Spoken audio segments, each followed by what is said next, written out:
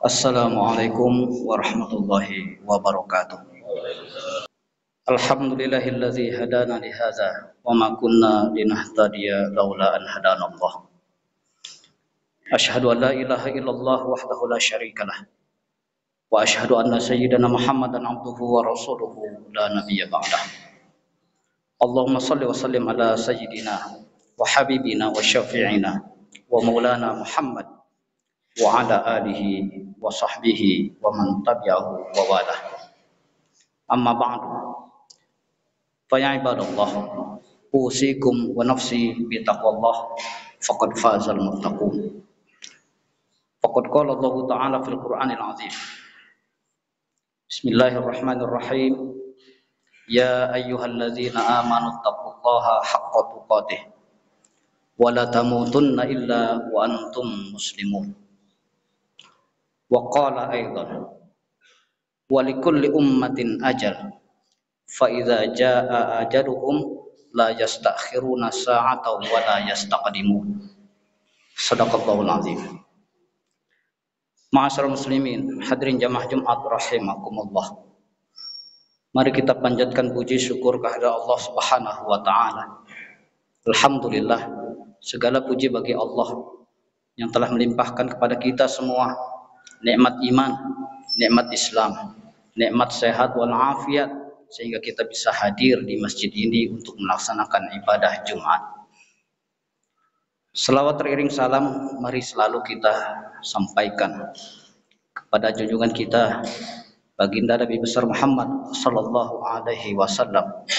Mari kita selalu mengucapkan Allahumma salli ala sayyidina Muhammad wa ala ali sayyidina Muhammad.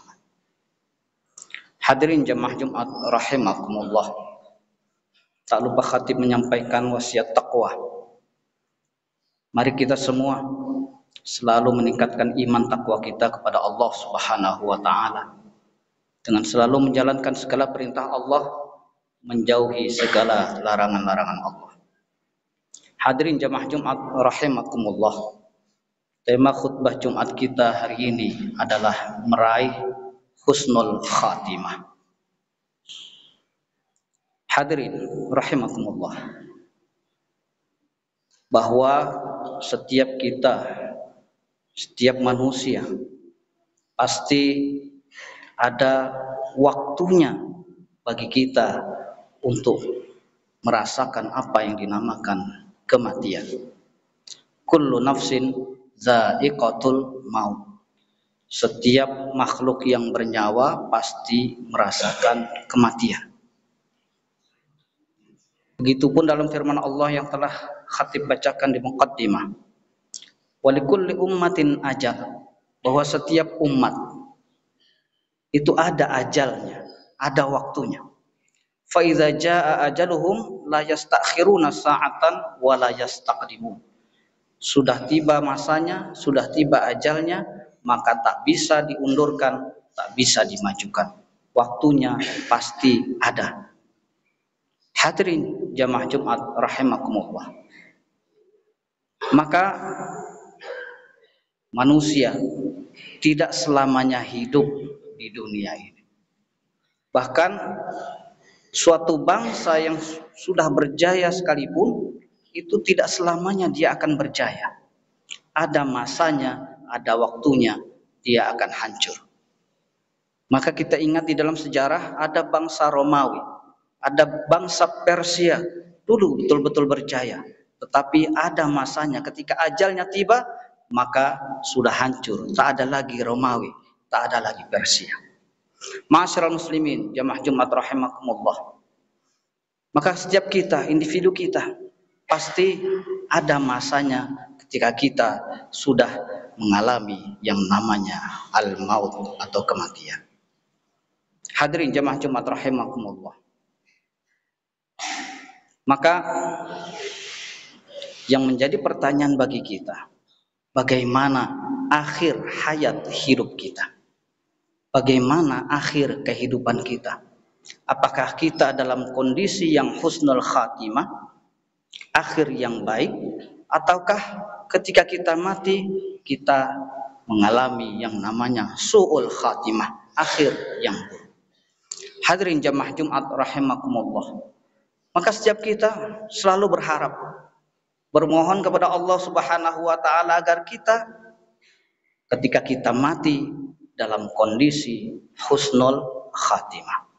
Hadirin jamaah Jumat rahimakumullah. Maka bagaimana kita bisa meraih husnul khatimah itulah yang menjadi masalah buat kita. Kalau kita tengok tetangga kita, saudara kita,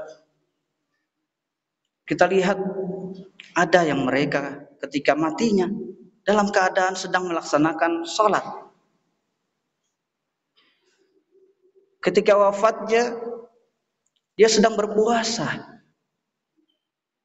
Ketika wafatnya, dia sedang menjalankan ibadah haji atau umrah. Maka kita bisa lihat bahwa mereka itu sebetulnya mati dalam keadaan husnul khatimah. Tetapi ada pula di antara tetangga kita, saudara kita yang mati dalam keadaan sakit atau mati wafat karena suatu kecelakaan. Kita tidak bisa tebak apakah itu dalam keadaan husnul khatimah atau su'ul khatimah. Hadirin jamaah Jumat rahimakumullah. Maka husnul khatimah, akhir yang baik itu sebetulnya sudah diberikan tanda-tandanya oleh Allah Subhanahu wa taala kepada kita semua. Maka ada ulama mendefinisikan husnul khatimah itu yaitu apabila ketika saat kematiannya dia sedang berada dalam kondisi beribadah melakukan ketaatan kepada Allah Subhanahu wa taala atau saat itu dia sedang menjauhi maksiat kepada Allah Subhanahu wa taala. Hadirin jamaah Jumat rahimakumullah. Maka untuk memperoleh yang namanya husnul khatimah yang pertama dan utama adalah kita harus istiqamah di dalam taat kepada Allah Subhanahu wa taala. Apa itu istiqamah? Istiqomah itu artinya konsisten. Terus menerus terjaga. Allah Subhanahu wa taala berfirman di dalam Al-Qur'an surat Fussilat. Innalladzina qalu rabbunallah tsumma istaqamu tatanazzalu alaihimul malaikah alla takhafu wa la tahzanu wa abshiru bil jannati allati kuntum tu'adun. Sesungguhnya mereka-mereka yang menyatakan beriman kepada Allah. Rabbun Allah. Tuhan kami adalah Allah. Summastaqamu. Kemudian setelah itu istiqamah. Betul-betul dijaga keimanannya. Sehingga betul-betul dia taat. Selalu menjalankan perintah Allah. Menjauhi segala larangan Allah maka apa kata Allah dalam Al-Quran? Ketika hendak dicabut nyawanya, Allah nyatakan tatanazzalu alaihimul malaika. Turun banyak malaikat kepadanya. Tidak cuma satu dua tapi malaikat. Ini banyak malaikat. Apa kata malaikat itu?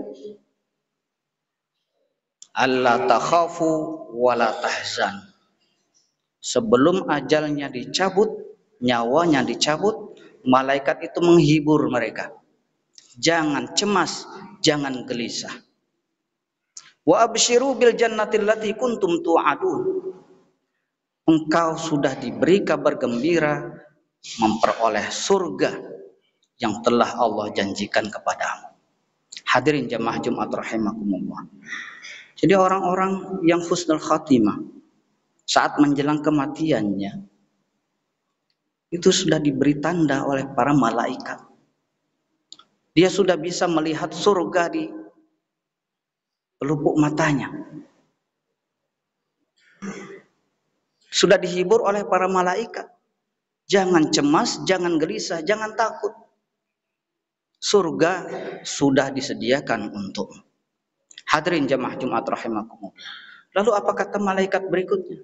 nahnu awliyaukum fil hayatid dunya wa fil akhirah kamilah para malaikat yang akan menemanimu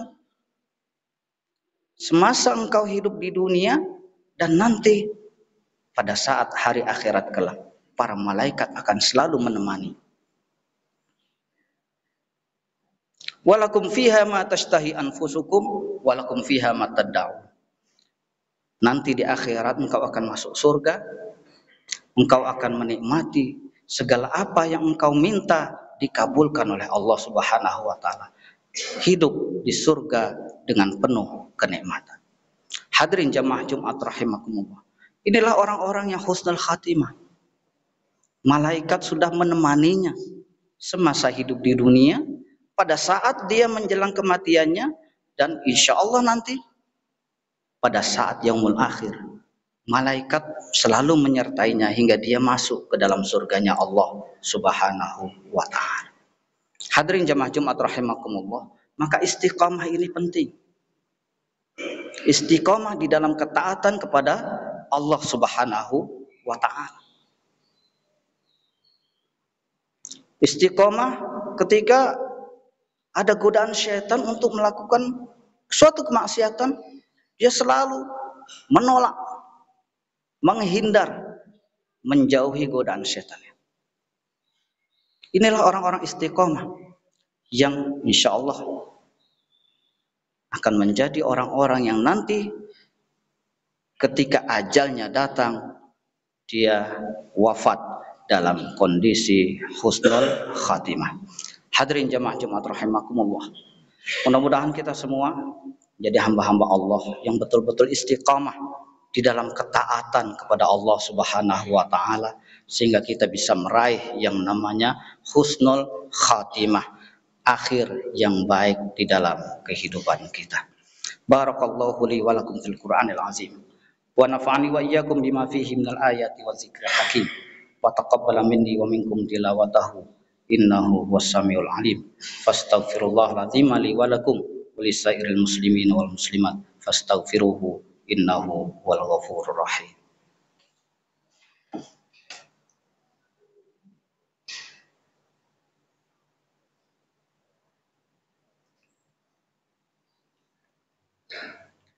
Alhamdulillah Alhamdulillahi hamdan kasiran kama amar.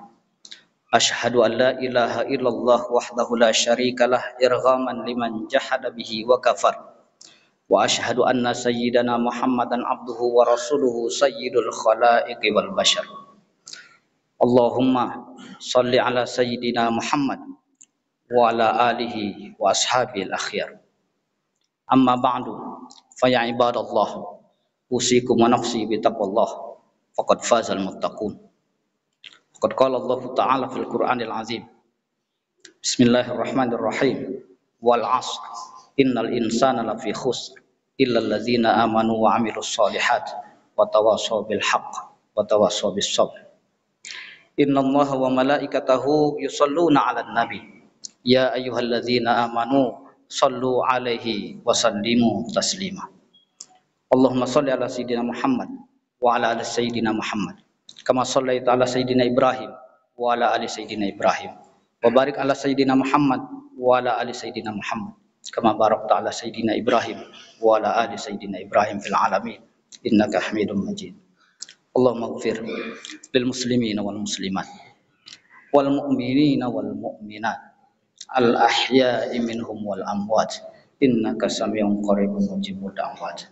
Allahumma khtim lana bi husnil khatimah wa la takhtim alaina bi su'il khatimah. Allahumma khtim ajalana bi husnil khatimah wa la takhtim ajalana bi su'il khatimah. Allahumma khtim ajalana bi husnil khatimah wa la takhtim ajalana bi su'il khatimah bi rahmatika ya arhamar rahimin Rabbana zalamna anfusana wa illam taghfir lana wa tarhamna lanakunanna minal khasirin Rabbana hab lana min azwajina wa dhurriyyatina qurrata a'yun waj'alna lil muttaqina imama. Rabbana taqabbal minna innaka antas samiul alim wa tub alaina innaka antat tawwabur rahim. Rabbana atina fid dunya hasanah wa fil akhirati hasanah wa qina azabannar. Walhamdulillahi rabbil alamin عباد الله إن الله يأمر بالعدل والإحسان وإيتاء ذي القربى وينهى عن الفحشاء والمنكر والبغي يعظكم لعلكم تذكرون ولذكر الله أكبر.